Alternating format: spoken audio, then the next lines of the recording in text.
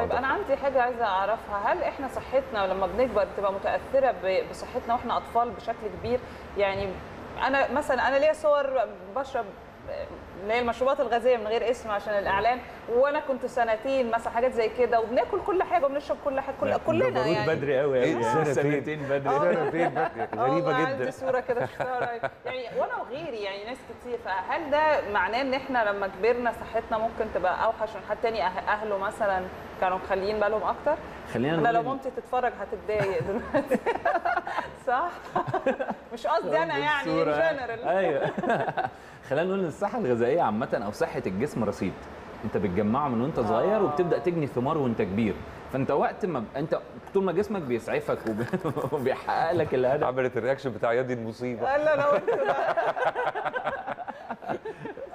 فانت بت- بتحقق الرصيد ده فوقت ما بتحصل المشكلة بتبقى محتاج إن جسمك يسعفك فبيبقى فعليا هو بيقدر يقاوم نفس فكرة الكورونا دلوقتي وقصه المناعة. وانت لو مناعتك متأثرة بصورة كبيرة جدا على مدار الزمن فانت أول ما بتصادف مرض شرس زي ده انت بتتأثر.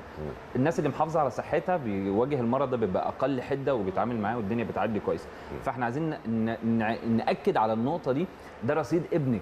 انت ما بتحققلوش رغبة لأن صدقيني هو الطفل ما بيميزش ما بين الأكل ال healthy أو. ال unhealthy هو بيبقى غرضه كله الطعم عايز يستمتع طبعاً. بالطعم بس لو قدرنا نحقق فكرة إن هو الحاجة ال healthy وال unhealthy وأنا ده بدأت ألمس ده في المناهج التعليمية إن هو بدأوا يتكلموا إن الحاجات الصحية بواحد اتنين تلاتة أربعة الحاجات الصحية واحد اتنين تلاتة أربعة ودلوقتي الطفل بقى فاهم فاهم يعني إيه كمامة ويعني إيه تباعد. ويعني إيه كورونا ويعني إيه مناعة ويعني إيه صحة غذائية الطفل بيبقى عنده ست وسبع سنين فاهم الموضوع ده فإحنا قدام فرصة عظيمة إن إحنا نستغل الأجيال اللي طالعه دي في إن إحنا ننقلها بقى في صحة غذائية كويسة وما يتصوروش. صحيح. صحيح. مش ما ياكلوش. إحنا هنلغي الحتة دي خالص. طب